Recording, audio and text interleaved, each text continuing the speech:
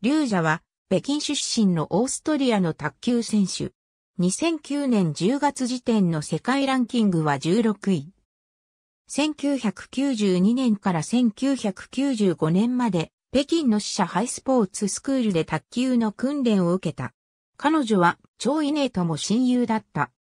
彼女はスクールのチャンピオンとなり、ユースランキングでも3位となったが、他の選手と比べて国際大会への出場機会は少ないものだった。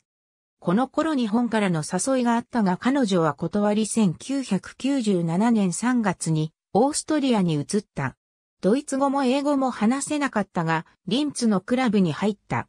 彼女はドイツ語を学びつつ1997年にリンツで行われたオーストリア国際ユース選手権で優勝。1998年2月16日にはオーストリアの市民権を得た。2003年に肩を痛めて数ヶ月治療に専念したが中国で治療を受けて復帰を果たした。1998年のヨーロッパユース卓球選手権ジュニアの部ではシングルス、ダブルス、混合ダブルスの3冠を制した。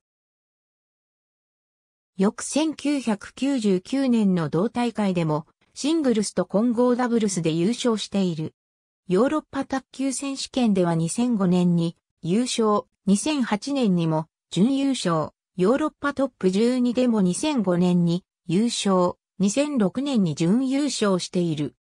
中国勢が圧倒的に強い世界大会では世界卓球選手権に1999年の第45回世界卓球選手権個人戦から2009年の第50回世界卓球選手権個人戦まで、個人戦では6回、団体戦では4回出場を果たしている。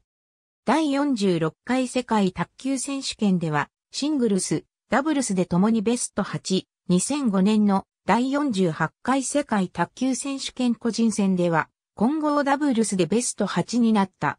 オリンピックには2000年のシドニーオリンピック、2004年のアテネオリンピック、2008年の北京オリンピック、2012年のロンドンオリンピック、2016年のリオデジャネイロオリンピックと毎回出場。